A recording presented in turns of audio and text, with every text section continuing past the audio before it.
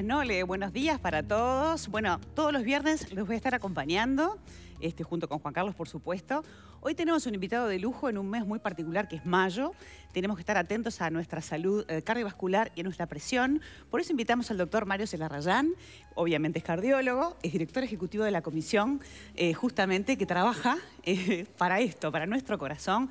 Doctor, es un lujo tenerlo esta mañana. ¿eh? No, el agradecido soy yo. Muchas gracias María por recibirnos. Vamos a seguir haciendo promoción de buenos hábitos porque en esto del corazón y en esto de la hipertensión, que es el tema que elegimos para hablar esta mañana, es una patología silenciosa, un asesino silencioso podemos decir. Es así, es así. Es un problema de, las personas, no solo de los uruguayos, es a nivel mundial. Este es el, mes de la medición de la presión arterial y, se realiza en todo el mundo. Es organizado por la Sociedad Internacional de la Hipertensión Arterial. Y acá en Uruguay lo estamos replicando también. Es un mes de concientización que este, tomamos la presión en determinados organismos con estudiantes de medicina. Y así tomamos la presión, le tomamos tres veces la presión en el momento, elegimos la menor de ellas para, para darle el resultado. Y, este, y aparte hacemos concientización. Claro. Hemos descubierto muchas cosas interesantes en este, en este tipo de actividad. Alrededor del 17% de las presiones que tomamos tenían presión alta y los pacientes no lo sabían. O sea que hay mucha gente que padece hipertensión y no, no sabe. No sabe. Es un hecho muy conocido hace mucho tiempo que les pasa a todas partes del mundo, en algunos más y otros menos, que la tercera parte de los hipertensos no saben que son hipertensos.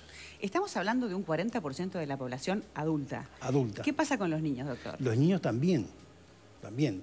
Este, en un trabajo reciente que hemos realizado en la, la Comisión Honoraria de Salud Cardiovascular, vimos que el 15% de los niños mayores de 9 años, de 9 a 12 años, ya tenían hipertensión arterial. Es un disparate, el 15%. Muy grande.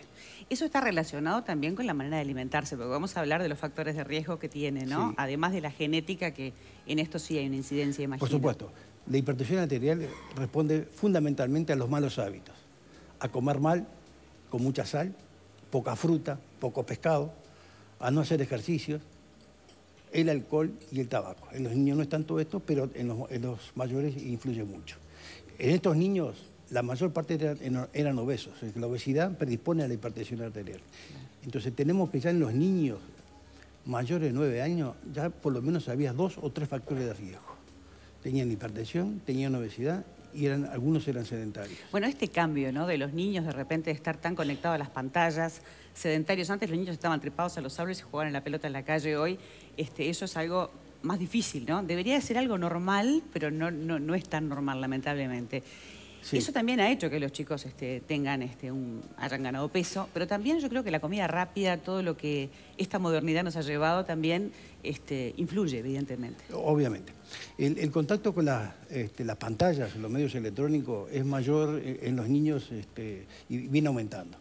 Pero eso no, es, no, es el causante exclusivo, porque pueden estar dos o tres horas, que no está bien, junto a la pantalla de televisión, pero si hacen una hora de actividad física intensa, eso está bien. En el caso de los niños es una hora, ¿verdad? Es una hora de actividad intensa.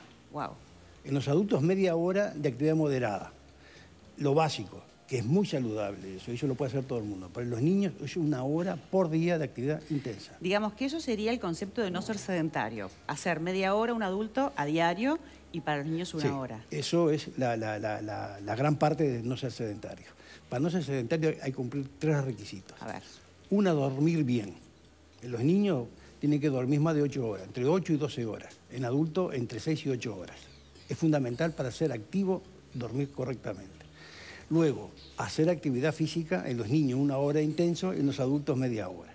Y la tercera cosa, nunca estar más de dos horas sentado. Ajá uno está dos horas y tiene que levantarse, ir al baño, o prender la luz, o lo que fuere. Tiene que estar, este, hacer una, pequeña... O sea, para la gente que está en una oficina trabajando, de repente está bueno pararse, tomar agua, dar una vuelta y volver. Parece una cosa tan sencilla de llevar a cabo, además, ¿no? estamos hablando de prevención de salud y estamos diciendo algo muy, muy sencillo de realizar. El tema de la alimentación, a veces, este, cuando uno trabaja, dice, ay, me cuesta más llevarme, entonces se compra comida este, preelaborada. Pero sí es importante cuando hay este, una genética, digamos, eh, en la familia, prestar atención y prestar atención antes de que se manifieste esta enfermedad. Porque este, el doctor nos decía que, bueno, que se toma la presión, pero a veces uno se toma la presión y la tiene bárbaro en ese momento porque está calmado. Y en otro momento de repente está más este, nervioso o, a nivel emocional te afecta. ¿Cómo nos damos cuenta que somos hipertensos? ¿Qué tiene que suceder para, para saber que esa es nuestra Básicamente tomarse la presión. ¿Pero a qué hora, por ejemplo? Ah, ¿Cuántas veces? Bueno, primero, a, partir de los 5 años hay que tomarse la presión. Luego, la mejor hora para tomarse la presión es de mañana. Ajá. Al despertarse, en el despertar, lo que decimos nosotros. Pero se puede tomar la presión en cualquier hora del día. Y se puede tomar con la frecuencia que uno quiera. El asunto es tomarse la presión. Si uno es hipertenso, le dirá el médico con qué frecuencia depende de la gravedad de la hipertensión. Pero si uno no siente nada, no sabe que es hipertenso, dos o tres veces al año tiene que tomársela. Saco dos conclusiones. Hay que tener un aparatito para medírsela. Lo ideal es eso. Y, una vez que uno ya está diagnosticado, es una patología crónica. Y a veces a los pacientes les cuesta tomar la medicación, una medicación que es de por vida, ¿verdad? Sí. Este, es, es uno de los grandes problemas que tenemos con todas las enfermedades crónicas, que el paciente tiene que tomar a veces una medicación, dos o tres, durante toda su vida. Y es muy difícil. Y entonces esto hace que buena parte de los hipertensos no tomen la, presión. En Estados Unidos han, hecho un trabajo donde demuestra que este, el 50% de los hipertensos a los dos años no toman la más la medicación. Lo cual hace, hace más grave la, situación, porque es hipertenso no tratado. Eso lo coloca en una situación de inestabilidad y de riesgo muy alta. Un hipertenso tratado, prácticamente ese factor de riesgo no cuenta. Claro. Entonces, tenemos ese problema de que este, eh, de conseguir que las personas tomen los medicamentos todos los días hasta que el médico haga un cambio.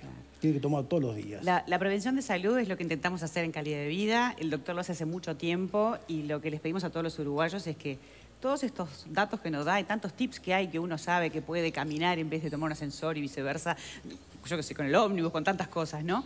Pero lo importante es plegarse a todo esto, porque lo sabemos y a veces no lo ejecutamos. Hay que ser consciente que hay que tomarse la presión. Es la única manera de saber si uno tiene presión alta o no tiene presión baja. Se puede tomar en cualquier lugar, en la casa, en la farmacia, en cualquier lugar. Eso sirve. En el médico sería lo, ideal, en los sistemas de salud, pero a veces es dificultoso. Por eso nosotros lo recomendamos, los que puedan comprarse un, equipo de aparato de presión, que tenemos tantos equipos este, eh, domésticos y que utilizamos de repente una vez por año, que un aparato de presión puede ser la vida es fundamental, la, vida o la muerte. Doctor Mario Celarrayán, ha sido un gusto tenerlo. Va a ser un placer seguirlo invitando porque es muy didáctico y, yo le, había pensado en que nos explicara qué es lo que pasa cuando tiene hipertensión, pero bueno, va a quedar para otro espacio. Bueno, como no, con gusto. Muchas gracias. Además de desearles un buen fin de semana, los dejo con una nota que hice sobre salud capilar. TRC.